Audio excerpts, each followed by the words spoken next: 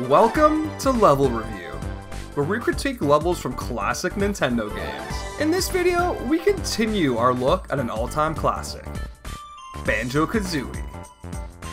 We've already reviewed the mediocre trash heap that is Mumbo's Mountain, and the absolute treasure that is Treasure Trove Cove. Next up, though, is a level so nasty, so filthy, that even Lindsay Lohan stays away from it. That level is the sexy, the seductive, Clanker's Cavern. Now, I'll try and say this in the most delicate way possible. Clanker's Cavern is fucked! Take a look at this shit. It's a horror show. There's spinning blades of death, mutant crabs, bondage chains? Hmm. Okay, that one's kinda hot. And to top it off, we have the mayor of this horror show from hell, Clanker.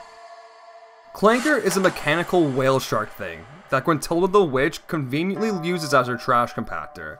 Just look at this fucking thing. It's an abomination. Like, I'm not even sure what's going on here. Is this thing alive? It has like open wounds and shit. What kind of E-rated Nintendo game has gore like this? Apparently fucking Banjo-Kazooie. Uh-huh. I mean, it comes from the same franchise that thought it was cool to have a fornicating penis as part of the level design, or a gay bar with sexually suggestive food items.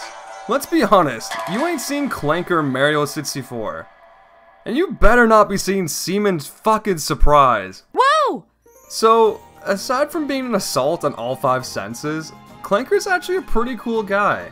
I know the level's called Clanker's Cavern, but Clanker himself is the centerpiece of the level. Everything you do in the level revolves around Clanker. The first thing you have to do with custy old Clanker is to loosen off his chain, so he can float above the hepatitis water that inhabits his cavern. To do this, you have to swim down and turn his key three times. Sounds easy, right? Wrong. So wrong. Because while you're doing this, your air meter is dropping every second. And it's a long way down. And turning this key is a bitch. The hitbox is super wonky, and the underwater controls in Banjo-Kazooie are complete ass. This nice little fish drops air bubbles for you that refill your air meter. But the bubbles are that classic N64 2D fucking JPEG in a 3D world, so it's impossible to judge where they are accurately. So, you end up swimming around like a jackass trying to collect these bubbles just to die anyways. So, once you loosen Clanker off from his set's dungeon restraints, he floats to the surface of his glorious cavern. And this is where the level gets interesting.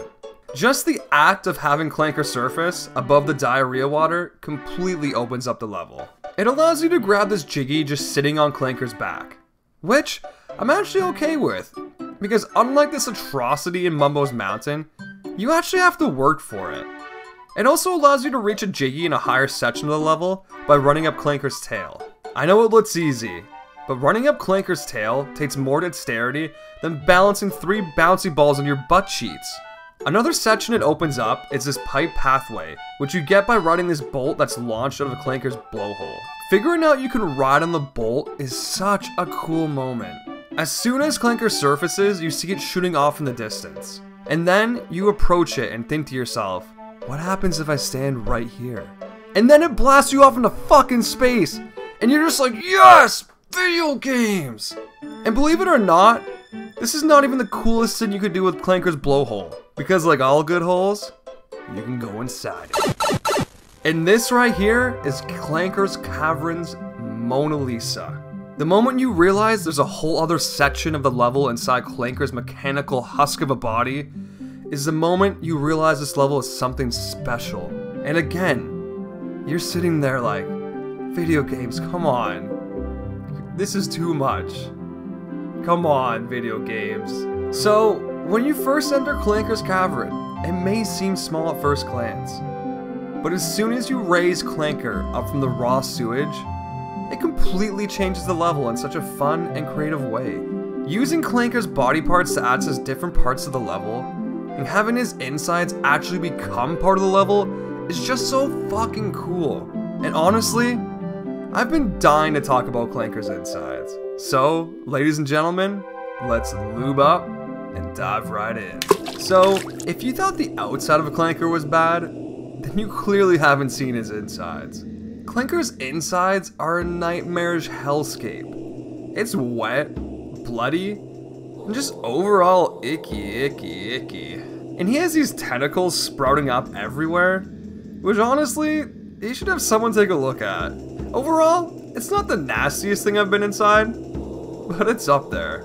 So, aside from the disturbing decor, Clanker's inside houses a number of challenges that will reward you with some jiggies. This ring minigame in Clanker's belly is especially fun. There's also a section where you have to use the golden feathers to bypass the spinning blades of doom, which I can only assume are used to grind up Gruntilda's nasty trash. Poor Clanker, man. He doesn't even know he's just a glorified garb raider. So taken out of context, these little mini games that take place inside Clanker don't seem that great. I know. But that's just it.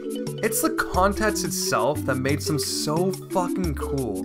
You're not just swimming through rains. You're swimming through rains in the belly of a fucking mechanical whale shark straight from fucking hell. If you don't think that's awesome, I don't want to see what you're into. Side note, have you ever noticed there's a weird amount of really good N64 games that involve sections where the player goes inside of a whale? Ocarina of Time? Paper Mario? Banjo Kazooie? The list goes on and on. Aspiring game developers take notes. If you want to make a good game, just add in a whale section. Apparently, it's just that easy. So, when it comes down to it, Clanker's Cavern is just a really awesome level. It has everything you would want in a banjo level. It's got fun jiggies, it's got an awesome world to explore, it's got a Clanker, it's got kinky sets dungeon chains. Hmm, yeah it does. But seriously, it's the atmosphere that really brings this level together. It's just so unique and disturbing. The first two levels in Banjo are just so bright and colorful. They're like your mom bringing you hot chocolate and wrapping you in a warm blanket. And then you hit Clanker's Cavern. This level is like nothing else in the game.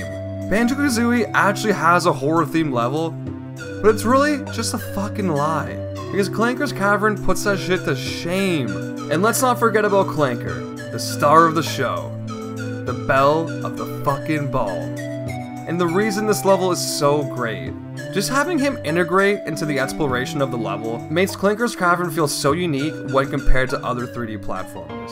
I can't say I've ever played a game that uses a mechanical whale shark dumpster thing to alter and change a level, and for that reason alone, I'm giving Clanker's Cavern an A.